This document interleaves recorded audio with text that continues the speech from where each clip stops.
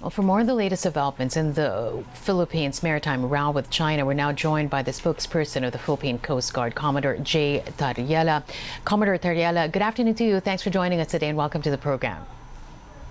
Good, uh, good afternoon to you and also to your uh, viewers. All right. So recently you were interviewed and you said things have been improving somewhat in the West Philippine Sea. And then we hear of this news report that, you know, the armed forces now reporting that there's an increase in uh, the presence of Chinese ships in the West Philippine Sea. So, how can it be improving when they're actually swarming?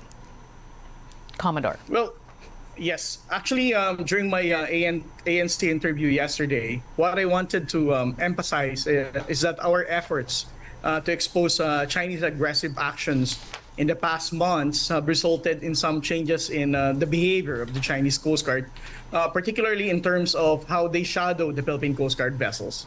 Uh, before we uh, started our transparency initiative, the China Coast Guard would closely shadow our vessels alongside.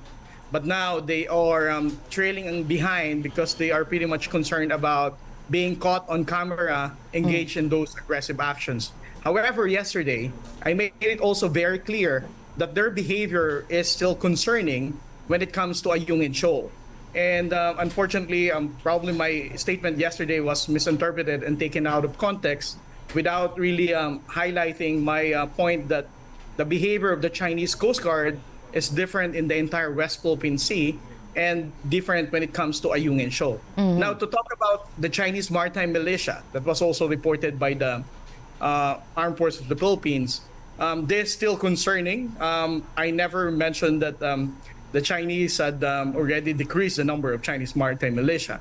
Uh, what o- I only noted is the behavior of the Chinese Coast Guard. They are uh, pretty much cautious in mm. being caught in the camera, except in Ayungin Shoal. So they're cautious, but it doesn't mean that they're no longer there. In fact, they're swarming. Yes. Mm-hmm. Uh, in terms of the Chinese maritime militia, they are still being used to swarm different areas in the mar- in, in the West Philippine Sea. And that's there's really just one one point to their actions at this point. It's to really to reinforce that it's theirs. Well, that's that's uh, what they want to do. Um, they want to swarm it um, to assert that they are they have the presence in this particular maritime features. But in Ayungin Shoal, they need to reinforce their um, China Coast Guard every time we have um, naval operation ongoing in that particular area. Mm-hmm. And it's for this very reason why um, there was that statement as well in a recent interview um, with the uh, Chinese uh, ministry spokesperson when they said um, basically justifying their actions in the West Philippine Sea basically once again reaffirming that that's theirs and they were only um, um, doing that in accordance with their law. But now you have talks of a security dialogue. Um, with uh, um, the Philippines um, through Defense Chief uh, Gibo Teodoro. Um, how, what, what do you expect from this uh, security dialogue, considering that they're the ones threatening peace and security in the region? Well, um, before I respond to that, I would like to highlight and react to the statement of the Ministry of Foreign Affairs spokesperson uh, when he said that the behavior of the Chinese Coast Guard in carrying out those dangerous maneuver is in accordance with the law. Because as we all know, A Ayungin Shoal falls within the exclusive economic zone of our country. It only has a distance of barely 105 nautical miles.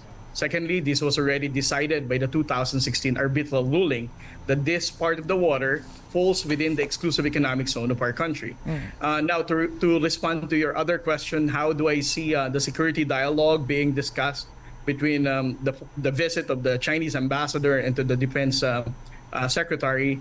Um, I would like to apologize. I'm not in a position to um, um, talk about uh, what they discuss, uh, particularly that it is concerned about the it is the concern of the Defense Department mm. and the Armed Forces of the Philippines as to what really transpired during their meeting yesterday. Yeah, but but even if um, you can't talk about what happened, if there's going to be a security dialogue, do you think, Commodore Jay, that it is imperative that on the agenda will be how they are behaving in the West Philippine Sea and how they're putting our Chinese, our, our Philippine Coast Guard in harm's way with that kind of a behavior?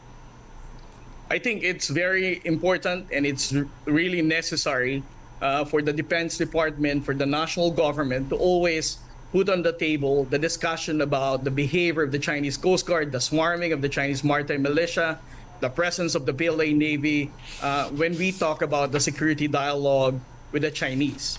This is something that concerns for the Philippine Coast Guard since uh, we have always been uh, the one uh, facing them in terms of those dangerous maneuvers that they are conducting, and it always jeopardizes the safety of our crew on board those Philippine Coast Guard vessels. Mm, um, um, let's just go back to what you said um, in the interview yesterday that there was improvement in terms of behavior.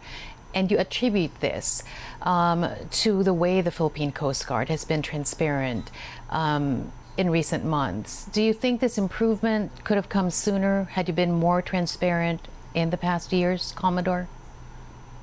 Well, I can only speak for um, our um, intention now of doing this transparency initiative. But um, again, I would still want to note that um, through this effort, we can see modification of behavior um, as uh, could have been done um, in the previous years. Uh, I cannot really say. To what would you attribute this uh, seeming freedom now? To tell the people the real situation in the West Philippine Sea, Commodore? Well, we have uh, two different objectives why we are doing this transparency initiative. Of course, with the guidance of the National Security Advisor, being the chairman of the National Task Force West Philippine Sea. The first one is to, of course, create public awareness among the Filipino people what is really happening in the West Philippine Sea, for them to be aware that um, we have been uh, doing our efforts. The national government is sustaining our presence in the West Philippine Sea. And then the second objective is uh, for the international community to be aware of uh, the aggressive actions of China. Um, and then with these two objectives, we think um, that we um, are not remiss of our job. Um, and the national government still um, have this obligation to the Filipino people that we're going to hold the line and maintain our presence in the West Philippine Sea. Where was the obligation in the past six years, and why did you feel the need to become more transparent now, Commodore?